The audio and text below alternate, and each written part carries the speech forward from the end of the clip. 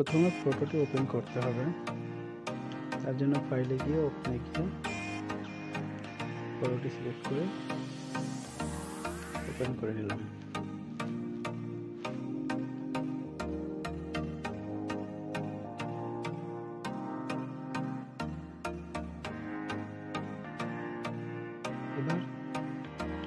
Background লেয়ারটিকে unlock করার জন্য background layer উপরে দুবার ক্লিক করলাম, তাহলে ব্যাকগ্রাউন্ড লেয়ারটি আনলক হয়ে যাবে।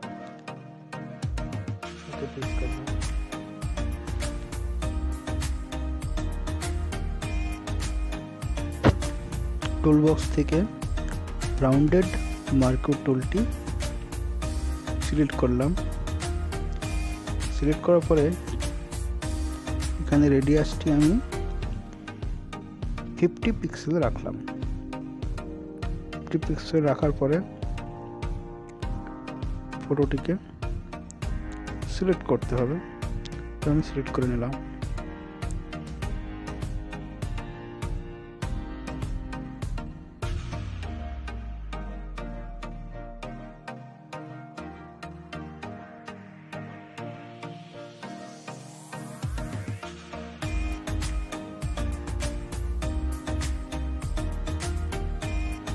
সিলেকশন হয়ে যাওয়ার পর দেখুন এখানে একটা নতুন লেয়ার তৈরি হয়েছে। তো এর অপাসিটিটাকে আমি ফিফটি পার্সেন্ট করলাম যাতে ব্যাকগ্রাউন্ড লেয়ারটিকে দেখা যায়।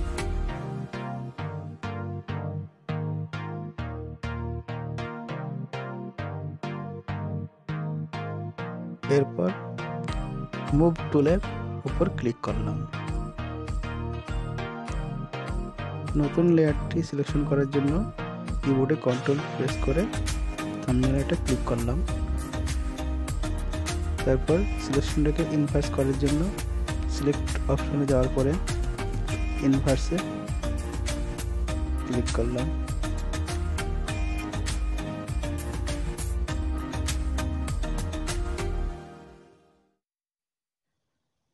ব্যাকগ্রাউন্ড লেয়ারটির উপরে ক্লিক করার পরে কিবোর্ড থেকে ডিলিট প্রেস করলাম।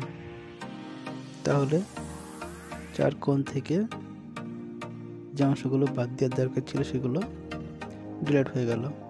এরপর নতুন লেয়ারটিকে ডিলিট করার জন্য নতুন লেয়ারটির উপরে ক্লিক করলাম এবং লেয়ারটিকে ডিলিট করে দিলাম।